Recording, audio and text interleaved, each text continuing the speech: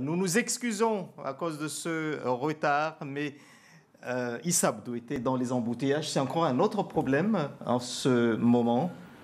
Non, mais on ne va pas se plaindre. Bonjour, André Racoton Davola. Je salue les Maoris qui nous reçoivent ce matin. Vous ne m'en voudrez pas si je devais avoir une pensée particulière pour les habitants de Lembeni et Mandélé. Alors, euh, ce matin, donc, euh, c'est parti pour les euh, troisième rencontres territoriales de la protection de l'enfance.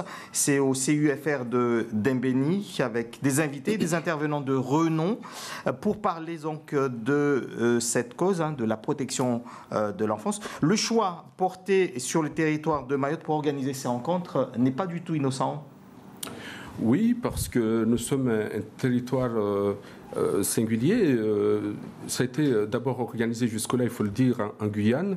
et j'ai eu la, chance de participer au, deuxième rencontre territoriale qui était organisée donc en Guyane. Et, j'ai fait le vœu d'organiser ça à Mayotte cette année. a été cette promesse que nous tentons de, tenir à partir de ce jour. Et c'est vrai qu'on est très heureux qu'on accueille ça aujourd'hui. Pourquoi Mayotte? Parce que c'est un territoire euh, euh, singulier, je le disais tout à l'heure. Euh, David Guyot, ses derniers chiffres parlent de 4000 mineurs non accompagnés, dont 300 euh, qui sont strictement isolés, c'est-à-dire sans aucune attache sur le territoire. Donc euh, les enjeux sont colossaux sur le territoire. C'est donc pas euh, hasard et je suis heureux que nous accueillions le temps de ces trois journées cet événement ici à Mayotte.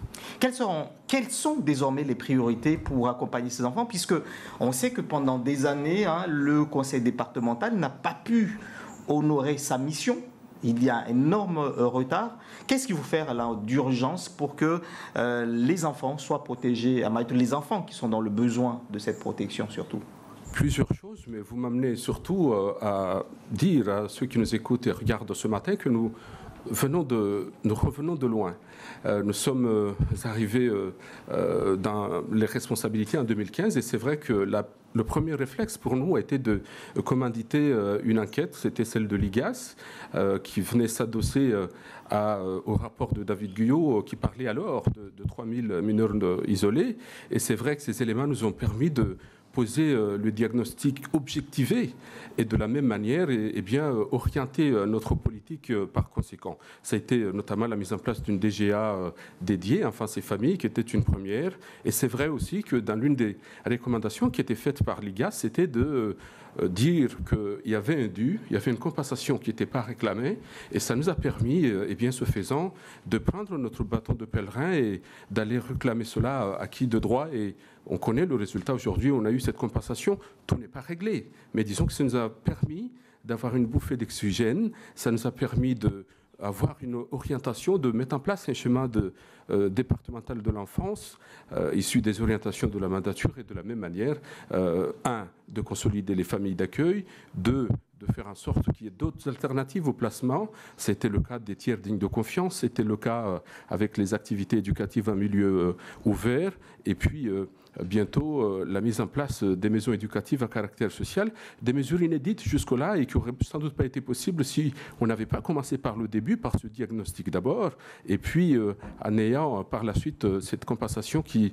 nous permet aujourd'hui de voir la, la vie sereinement, c'est pas le mot, mais en tout cas d'avoir les moyens de nos ambitions, euh, euh, même modestement. Et donc euh, la priorité aujourd'hui, c'est de faire en sorte que nous sortions ces enfants-là de la rue. Ça suppose que, d'une part, et c'est ce que nous faisons au niveau du conseil départemental, que nous prenions nos responsabilités parce que c'est une compétence du département, c'est ce que nous disons, c'est ce que nous faisons tous les jours, mais qu'en même temps, que l'État dans sa partie régalienne, je, le dis à tue-tête, mais c'est une réalité, eh bien, fasse en sorte qu'il n'y en ait pas d'autres enfants tous les jours. Et puis, surtout, dans ce que je mets bien des guillemets en disant cela, euh, qu'on vient d'appeler le stock, eh bien, fasse en sorte qu'on puisse réguler. C'est un peu à l'instar des, séjours Made in Mayotte. Euh, on ne peut plus sortir de Mayotte. Eh bien, pour ces enfants-là, c'est exactement la même chose. Il faut qu'on ait des solutions pour que nous régulions, nous dispatchions ces enfants-là euh, sur le territoire national ou ailleurs. Et donc, on voit bien qu'il y a il y a un sujet euh, là euh, à, débattre et c'est aussi l'objet euh, de ces rencontres. Et on est impatient de verser ces éléments-là sur la table pour que on se, comment dire, qu'on tente de trouver des solutions.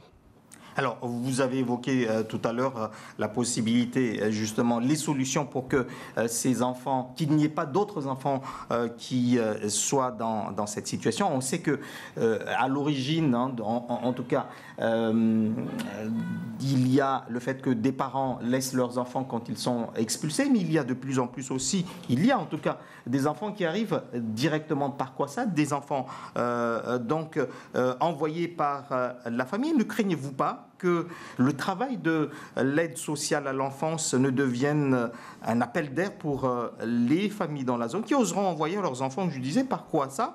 Ceci euh, au moins, euh, car ici, ils auront au moins une garantie pour leur santé ou leur, scolarité pour les plus, les plus chanceux. Le pire, André Rakoton-Ravola, ce serait de ne rien faire. Mhm. Nous, on a fait le choix, on a pris le, le parti de prendre nos responsabilités, je l'indiquais tout à l'heure. Il faut que, ne serait-ce que parce que c'est une compétence du département, oui. Euh, ça c'est le premier élément. Le deuxième élément, parce que, et par conviction, sortir ces enfants-là de la rue, c'est un problème à moins qu'on on, enlève euh, chez les Maorais. Et c'est pour ça aussi que nous disons que la, le travail que nous faisons, nous, au conseil départemental, de par la compétence d'une part, mais surtout euh, par conviction, parce que en faisant cela, eh bien, on, on, évite de, de, de des incivilités, euh, des, enfants qui viendront peut-être casser nos maisons, euh, des coupures de route, que sais-je encore. Donc c'est ça qu'il faut faire. Le pire, ce serait de considérer que euh, circuler, il n'y a, a, rien à voir. Mais en même temps, et vous avez raison, il faut que les frontières soient fermées. C'est la question régalienne de l'État, je le dis euh, encore une fois, mais il faut que, pour que ça marche, chacun joue sa partition. Il y a même un élément important, j'étais heureux euh, de constater euh, et d'accompagner la ministre Muriel Pénicaud, ministre du Travail, lorsqu'elle était ici à Mayotte, pour identifier le site qui, allait, qui va accueillir le centre éducatif renforcé. Ce sont toutes ces mesures qui, mises bout en bout, eh bien, feront en sorte que demain, eh bien, Mayotte ira mieux. C'est le rôle de chacun et nous, nous, au conseil départemental, nous jouons, euh, comme je l'indiquais tout à l'heure, notre partition parce que c'est une compétence et parce que c'est une conviction que euh, si on ne fait pas ça, et d'ailleurs, c'est ce qu'on n'a pas fait depuis longtemps et on voit bien euh, les résultats aujourd'hui. Et donc, si on veut que ça soit encore plus catastrophique, eh bien, il faut ne rien faire. Ce n'est pas le choix que nous avons Que vont devenir ces enfants lorsqu'ils auront atteint la majorité?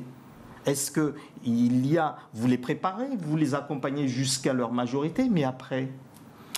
La, les, familles d'accueil, la vocation euh, pour nous, c'est pas euh, que ces enfants-là restent chez nous ad vitam aeternam, c'est pas là l'idée. Mhm. Euh, c'est d'ailleurs une aberration entre la loi et ce qui se passe réellement. les enfants, ces enfants-là restent un peu plus longtemps que ce qui aurait dû être le cas. Donc nous le constatons. Mais une fois qu'on a dit cela, je dis que notre responsabilité à nous, c'est de créer les conditions pour qu'ils aient les meilleures conditions pour s'épanouir. Mais la vocation du conseil départemental de ces familles d'accueil, c'est pas de les garder euh, ad vitam aeternam. Voilà. J'ajoute même que l'esprit de la loi de 2007, euh, eh bien, euh, c'est que l'enfant retrouve sa famille biologique. Ici, c'est un petit peu plus compliqué que ça, mais en disant cela, vous voyez bien l'esprit qui est le nôtre. C'est pas tant de garder ces enfants-là, mais on sera heureux que à la fin, eh bien, ils puissent trouver un projet pour qu'ils s'en sortent dans la vie. Alors, il n'y a pas que euh, les enfants qui sont donc euh, euh, qui, qui, sont en situation irrégulière qui sont concernés par la protection de l'enfance, puisqu'il y a également des enfants français qui vivent des situations difficiles ou de, violence au sein de la famille et vous vous en occupez. Mais est-ce que le modèle de protection de l'enfance actuelle, les lois qui s'appliquent à Mayotte dans ce cadre-là, est-ce que tout cela répond correspondent-ils aux attentes euh, des familles et des enfants de Mayotte, puisque c'est une loi euh, souvent euh, votée, réfléchie depuis la métropole, euh, est-ce que ça répond aux, attentes des familles ici? C'est une question pertinente, André Lacoton-Lavola. Euh, figurez-vous que pas plus tard qu'hier, je discutais avec Fabienne Kirio, qui était l'architecte de la loi de 2007, et je lui faisais euh, la mm. même remarque que vous. L'idée, la loi est toujours bien faite. On, je dirais d'une manière innocente, le législateur fait en conscience ce qui lui semble être le, le, meilleur. Mais la loi dit, par exemple, que l'intérêt supérieur de l'enfant est de faire en sorte que la famille, je le disais tout à l'heure, l'enfant retrouve sa famille biologique. Mais quelle famille biologique? En Mayotte, chacun sait que cette famille-là est reconduite aux frontières, mais quand bien même parfois, et je cite souvent cet exemple, la famille est connus, reconnus, identifiés euh, sur les hauteurs de Kaweni ou dans des euh, bidonvilles, eh bien, on vous explique, avec des mots choisis peut-être, que euh, tout compte fait, bien l'intérêt supérieur de l'enfant et qu'il reste dans la famille d'accueil. On voit bien les limites de la loi mmh. ici à Mayotte. C'est pas tant l'esprit lui-même, mais je pense que son application ici, on voit bien qu'il y a la matière à débattre et ce sera aussi l'objet de, de, ces assises, de ces rencontres territoriales de l'enfance. Mais vous me donnez une occasion là aussi de rappeler, puisque vous avez eu la gentillesse, et ça on ne le dit pas assez, que ces enfants-là il y a aussi, euh, et ils sont nombreux, des enfants français, parce que la caricature facile qu'on fait souvent, c'est de dire, mais vous faites ça euh, pour ces enfants-là euh, étrangers, il y a des enfants français, c'est, et qu'est-ce qu'on dirait si on ne devait pas s'occuper de, cette frange aussi de, la population concernée par cette question Et donc, et, se pose alors la question de la parentalité, parce que la thématique centrale de mhm. ces rencontres, c'est aussi la question de, de la parentalité, et je vais vous citez Victor Hugo qui disait, euh, je le cite, l'éducation, c'est les parents qui la donnent, mais l'instruction, c'est l'État. On entend par l'État les autorités publiques, le conseil départemental et l'éducation nationale qui la doivent.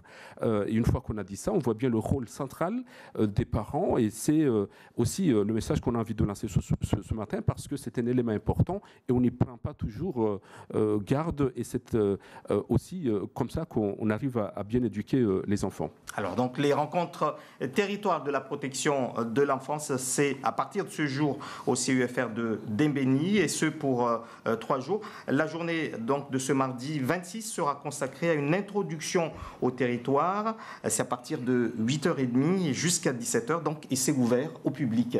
Voilà. Merci euh, d'avoir été l'invité de Zakuli euh, ce matin.